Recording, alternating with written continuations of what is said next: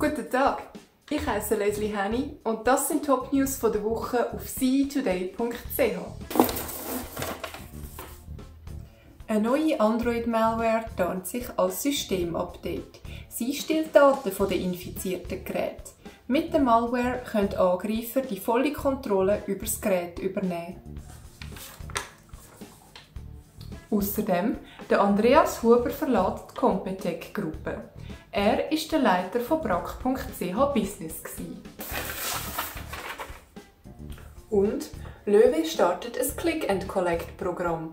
Kundinnen und Kunden reservieren ein Gerät auf der Löwe-Webseite und holen es dann beim Fachhändler ab oder lassen es von ihm liefern. Die und viele weitere spannende News finden Sie auf cetoday.ch. Wenn Sie täglich möchten wissen, was in der Schweizer CE-Branche läuft, dann melden Sie sich für unseren Gratis-Newsletter an unter cetoday.ch/newsletter. Ich wünsche ein ganz schönes Wochenende, viel Spaß beim Osternestli suchen und natürlich auch viel Vergnügen beim Lesen.